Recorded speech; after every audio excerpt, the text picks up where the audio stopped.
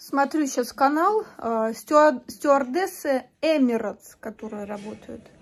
Саня Сараметова. Слушайте, у нее канал молодой, но подписчиков очень много. Сейчас я потише сделаю. Потому что, потому что всем, конечно же, интересно. Мне тоже интересно смотреть э, на жизнь, которая у тебя нет, и у многих такой жизни нет, да, потому что она стюардесс, она летает там, и Эмират, вот сейчас она в Индии, их в отелях э, селят, э, чтобы это все переждать, там, да, перелеты вот эти вот. Понятно, что им все это оплачивается, они могут выйти в город, она знает и, понятно, языки, наверное, не один. И вот так смотришь и думаешь, многие матери хотели бы для своих дочерей, ну, вот такую интересную жизнь. Согласны? И понятно, что и деньги хорошие она получает. Но с другой стороны, вот если посмотреть на потом, да, ведь как планируют матери? Ты поработай, ты развивайся, вот ты там разов... Э, будешь вся такая развитая, умная, красивая, и потом ты найдешь себе такого мужика. Ну, когда тебе будет, там, я не знаю, 35. Ну, я не знаю, сколько им должно быть, но, как правило, да, вот ей, ей под тридцатник, скорее всего. Ей лет, наверное, 27, 28, я так думаю. Да? Когда тебе будет 35, ты уже никого не найдешь. Все мужики уже будут разобранные. И хорошие, и богатые. Может, ты и найдешь какого-нибудь в разводе, разведенного там, не знаю, там, под полтос, да? Ну, ладно, не в этом суть. А, это во-первых, да? А во-вторых, у тебя была такая интересная жизнь ты знаешь несколько языков, ты летала, ты многое видела. Ну да, опять-таки, ты, ты не на любого мужика согласишься. Какой-нибудь э, простачок, просто который, может быть, даже более-менее нормально зарабатывает, но нигде ничего не летал, ничего не видел, да? Тебе с ним будет неинтересно. Ты такая вся крутая, все видела, везде летала, да? тебе будет уже неинтересно с таким мужиком. Я это говорю, как бы сказать, я знаю таких э, девушек, их, конечно, немного в моем окружении, но парочка найдется, которым просто, им не найти мужика. Ну, просто потому, что у них интересная жизнь. Э, зачем им менять э, свою прошлую интересную жизнь, хоть даже уже и престарелую, да, там, когда тебе за тридцатник, на какого-то мужика, да?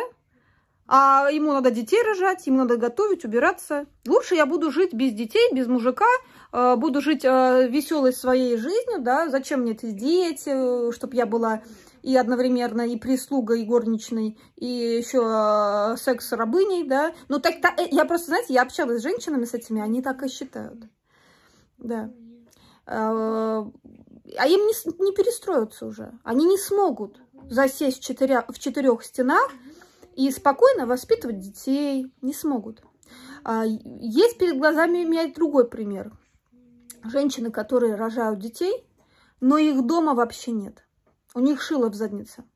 Они бегают, они э, все время э, пытаются цепляться за ту жизнь, интересную, насыщенную, которая у них была.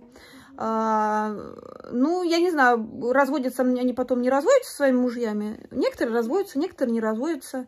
Вот но им не успокоиться. Ну, потому что они не смогут уже э, спокойно жить. Спокойно с семейной жизнью. Понимаете? Спокойно с ребенком на больничном сидеть, когда ребенок заболел. А, спокойно а, сходить с ребенком погулять. Там, поводить туда, поводить сюда. Это все время будет беготня, это все время будет все таком на, на взрыве. Это так и есть. Поэтому вот когда ты смотришь на свою дочку и думаешь, какой же ты ей жизни желаешь? Вот спокойной спокойной, или вот в такой, в беготне.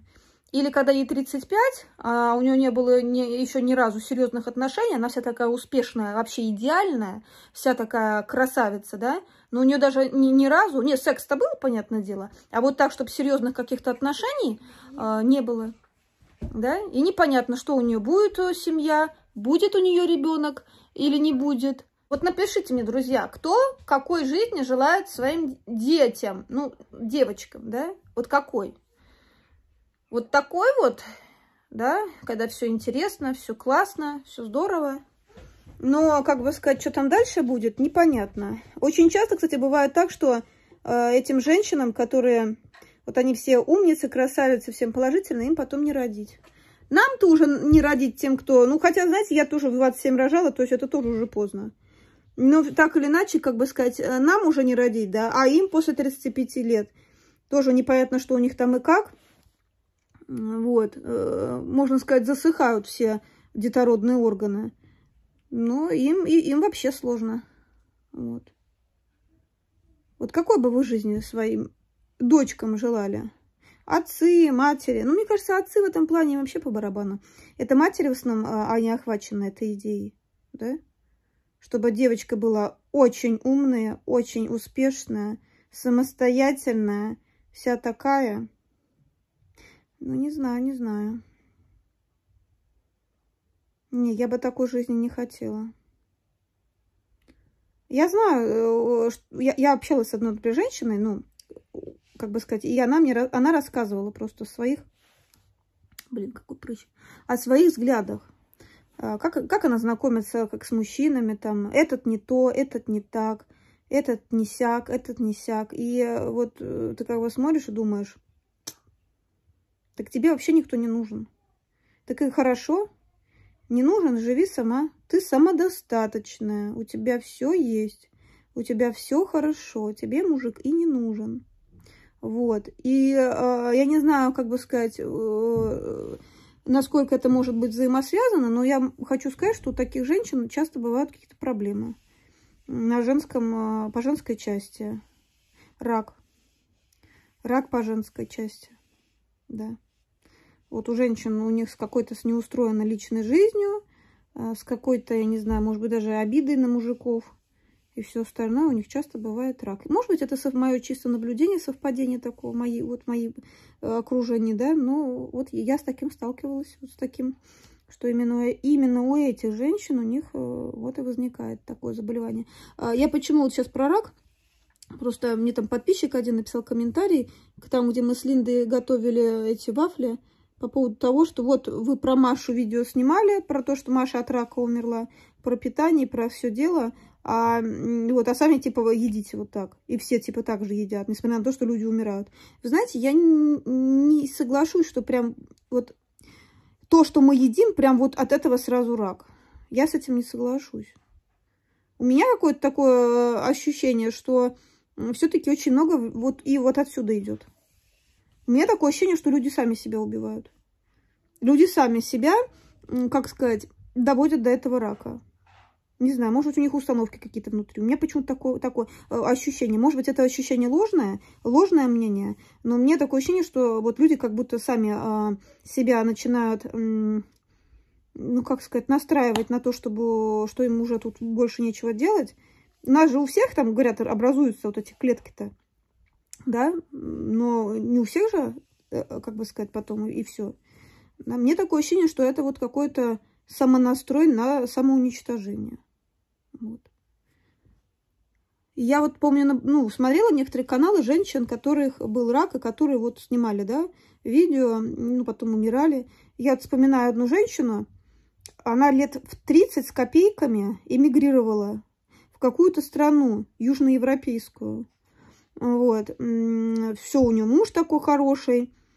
По-моему, у нее дочка, да, дочка, вот все, он их обеспечивает, все идеально, живут.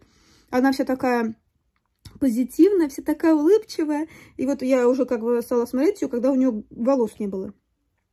И вот она... Не, она умерла. Я ничего не говорю, я не передразниваю, да, все-таки человек-то помер. А я просто говорю о том, что она все время была такая... И потом, когда она умерла, о ней там ее мать говорила, что она была такой светлой, она была такой вседоброй. А я вот так смотрю и думаю, она была не она была удобной я ее, пока ее смотрела, вот я, у меня создавалось ощущение, что она подавляет в себе всю злобу, всю агрессию, всю тревогу. Она для всех такая идеальная и удобная. Жертва. Жертва, одним словом. И вот мне кажется, это влияет. Это очень влияет. Если ты вся такая добренькая, такая тетя ко всем, а, я так вас всех люблю, у меня рак, но я вас всех все равно люблю. А, я сейчас умру через месяц в муках. Но я... Нет, я бы, я бы так не говорила. Если бы у меня был бы рак, я бы вот так видео снимала и говорила, твари вы поганые, я вас всех ненавижу, сволочи. Я вот сейчас сдохну, а вы, падлы, все будете продолжать жить. Я бы все бы свои негативные эмоции выплеснула бы. И все всем сказала, и всех нахэ послала бы. А что держать-то в себе? Интересно, у меня будет когда-нибудь рак? Ну, правда. Ну, просто я всех шлю. Вот. Как бы сказать, вот интересно просто, от чего я умру.